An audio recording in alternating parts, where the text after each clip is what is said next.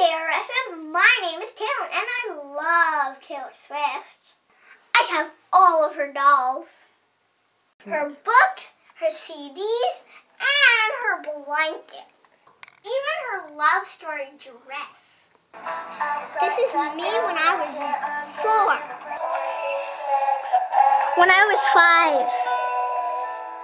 And school talent show. I'm gonna meet you in New York. Love you, JRFM.